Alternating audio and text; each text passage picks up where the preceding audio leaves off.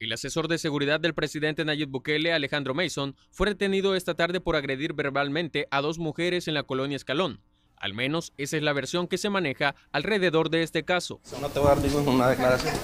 Junto a Mason fue retenido otro sujeto que se supone es un miembro de su seguridad personal. Ambos llegaron a la delegación de Montserrat de San Salvador para ofrecer su declaración sobre el incidente. ¿Pero por qué lo capturaron? Un mal procedimiento policial.